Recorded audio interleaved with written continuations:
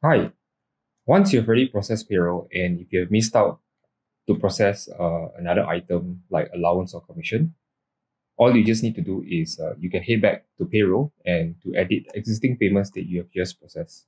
You don't have to create a new payment because creating a new payment would double or triple the amount of your employee salary and that's not what you want.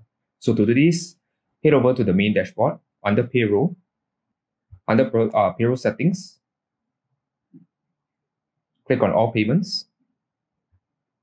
All payments essentially will bring you to the existing payments that you have already processed.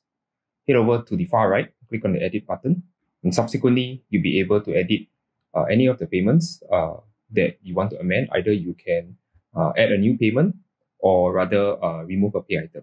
So for example, if you want to uh, add in a commission, under step three, select pay item, what you can do is you can just click on new item in the existing payments, add a commission, key in the details,